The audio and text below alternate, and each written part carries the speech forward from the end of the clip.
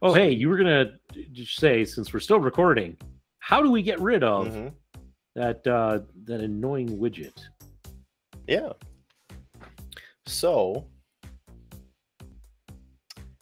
um, let's see. You have to do it on your home screen.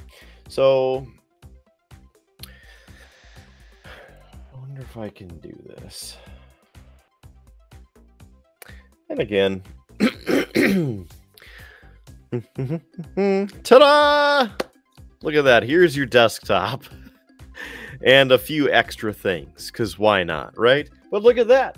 Just got a couple other ribbons on lawnmower lawn mowing simulator including trusted.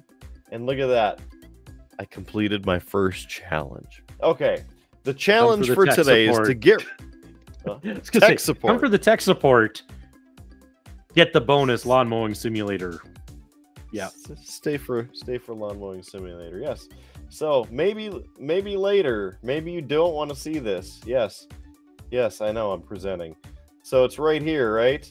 And you don't want this then you have that randomly coming up. First Right. of all you want to right click on it so then you get your menu go up to news and interests you can show just the icon which will give you the condition or if you are like me and want to have extra performance, turn off.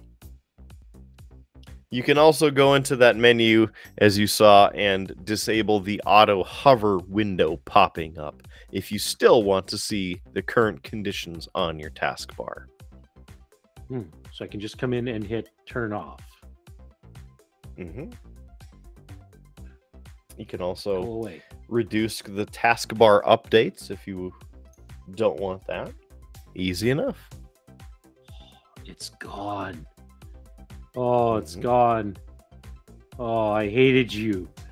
You were evil. You annoy the crap out of me. Now I can do that to my work computer too. Oh. Ever since that has popped up, it has been the thing that has annoyed me the most. So, thank you, Kidder.